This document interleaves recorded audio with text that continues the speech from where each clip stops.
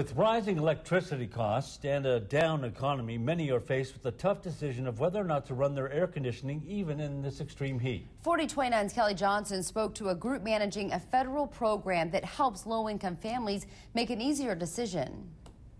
I've never felt anything like this. It's, it's, it's really bad, really.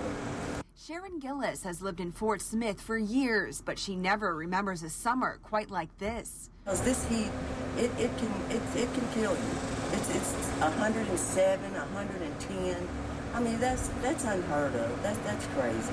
Like so many, Gillis is struggling to make ends meet, and so she came to the Crawford Sebastian Community Development Council to apply for LIHEAP, or Low Income Home Energy Assistance Program. My bill was like 60 last month. It's 153 this month. Today is the first day qualifying residents can apply for cooling assistance. Each applicant pays according to a different income bracket. According to the income and the household size, there's a chart that we go by that the feds have given us that tells us how much we're going to pay to that utility company.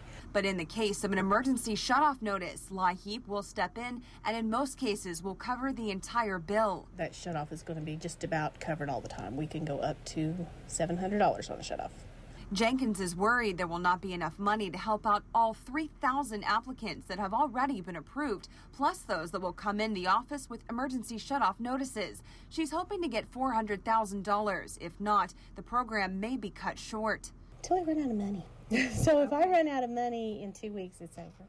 But some rely on this program to survive. I don't I don't know what they would do if they didn't have this. I really don't know how they would how they would make it.